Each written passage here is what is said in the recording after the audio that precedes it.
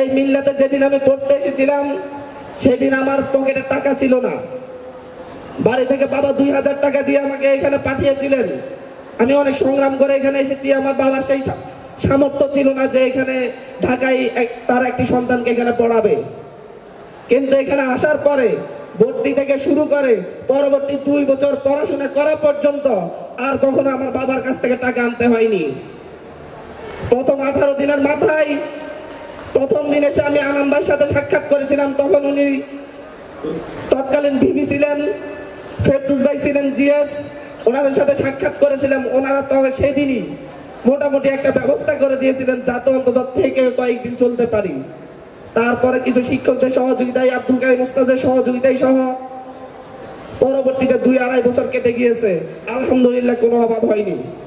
এভাবে পড়াশোনা করে মিল্লার থেকে আমি গিয়েছি।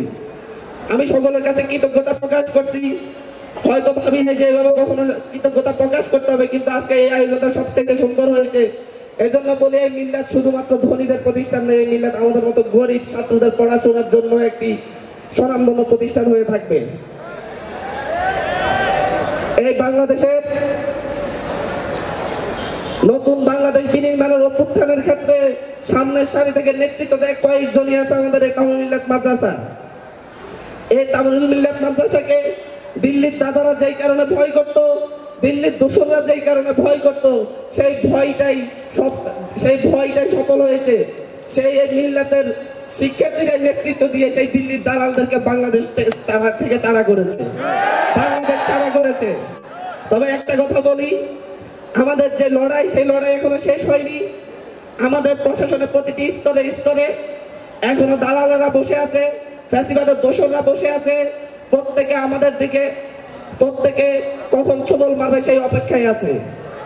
আমরা আজকে, আমি এখানে বৈষম্য বিরোধী ছাত্র আন্দোলনের একজন প্রতিনিধি হিসেবে আপনাদের কাছে বলতে চাচ্ছি, বৈষম্য বিরোধী ছাত্র আন্দোলন যখন এই দেশের মানুষকে স্বপ্ন দেখিয়েছে, আগামীর বাংলাদেশ হবে দুঃখ দুর্দশা মুক্ত বাংলাদেশ, সাম্য মানবিক মর্যাদার বাংলাদেশ, আগামী বাংলাদেশে কোন রাজনৈতিক দল ক্ষমতায় এসে ফ্যাসিবাদী হয়ে উঠতে পারবে না। আগামীর বাংলাদেশে বর্তমানে যে গতানুগতিক রাজনৈতিক ব্যবস্থা চলছে, এই ব্যবস্থা থাকবে না। আমাদের আমাদের আজকের এই অনুষ্ঠানে অংশগ্রহণ করবার জন্য রাজপথের এই অগ্রণী সেনানীকে আমরা অ্যালামনাইয়ের পক্ষ থেকে একটি সংবর্ধনা দিতে চাই। আমি অ্যালামনাইয়ের সম্মানিত সভাপতিকে অনুরোধ করছি, রাজপথের চব্বিশের বিপ্লবের এই অগ্রসেনানীকে ক্রেস্ট দিয়ে বরণ করে নেওয়ার জন্য। ক্রেস্ট গ্রহণ করছেন জনাব আব্দুল হান্নান মাসুদ। ক্রেস্ট গ্রহণ করছেন জনাব আব্দুল হান্নান মাসুদ।